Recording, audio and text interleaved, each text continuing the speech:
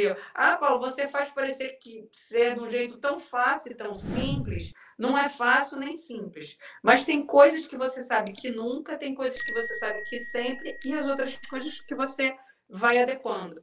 Então, assim, tem gente que parece que está num processo de auto-engano, que fica ali lendo, relendo, uma coisa que no fundo, no fundo, você sente que você não está progredindo. Uhum. É que nem assim uma comparação simples também. Quando você começa um processo de emagrecimento, ou que você está investindo na sua estética, que você vai para academia, volta, você olha no espelho, você está vendo, independentemente de você ouvir um, um, feedback, um comentário das pessoas, você está vendo, a roupa está apertando, está alargando, você olha no espelho, você fala assim, estou ficando mais ajeitado, mais desembolsado. Com estudo é a mesma coisa. Você uhum. pega ali, você começa a ver, e às vezes tem gente que quer atropelar as coisas. Vou começar a fazer exercício, espera aí, mas você nem leu lei seca ainda, calma. Uhum. Cada, vai ter tempo para cada etapa, não começa a pular etapa. Exatamente. E às vezes também pegar métodos é, muito fechados, que às vezes funcionam para outras pessoas, eu acho que a gente sempre consegue. Que nem eu falei, Thiago, assim, eu nunca fui de madrugar. Eu tinha inúmeras amigas que falavam assim, ah, eu estudei até 3 horas da manhã, até 4 horas da manhã. Às vezes, no primeiro momento, bate aquela, quase que, não, não é numa competitividade, mas você pensa, meu Deus, eu estudei só até 8 horas da noite. Sim. Ela ficou até 3 horas da manhã.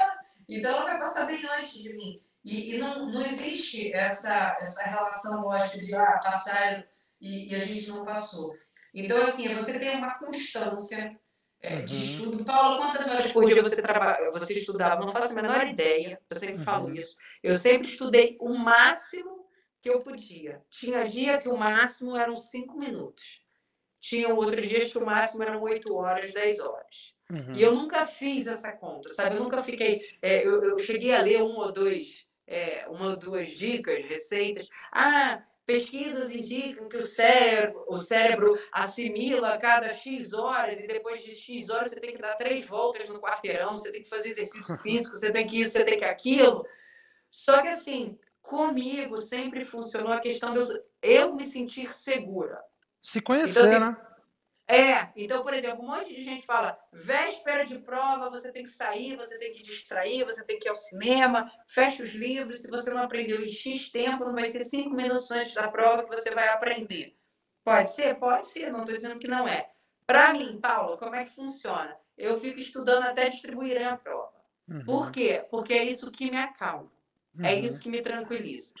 Se numa véspera de prova, ainda hoje eu sou assim, se numa véspera de prova eu for às vezes para um cinema, eu sair para jantar, eu, enfim, vou fazer qualquer outra coisa, é, sempre fica aquela sensação de que eu podia estar lendo mais. Uhum. Eu podia estar, enfim, é, eu gosto desse ritmo, uhum. sabe? Aquilo me dá tranquilidade, aquilo me acalma, aquilo me transmite segurança para ir fazer a prova, sabe? Para mim sempre funcionou.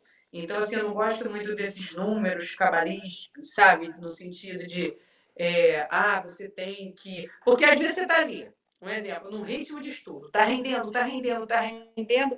Ah, não, porque na tabela disse que eu tinha que estudar 11 horas e 23 minutos, então está na hora de levantar, e às vezes está fluindo. Uhum. Então, assim, é, eu sempre gostei da ideia também, Tiago, é, te cortando um pouquinho, às vezes todo candidato é, tem uma tendência a estudar o que mais gosta. Exatamente. E, e, de alguma forma deixar de lado as matérias que você menos gosta. Então, assim, isso acaba fazendo que você já gosta dessa matéria, às vezes você já gosta, ou porque você já tem é, facilidade ou familiaridade. E aí, quanto mais você estuda, é óbvio que vai ficando melhor para você. Uhum. E aquelas matérias que você tem que são deficitárias, né, que é onde você é, é tem que explorar mais, você tem que investir mais, a gente acaba deixando para um segundo plano.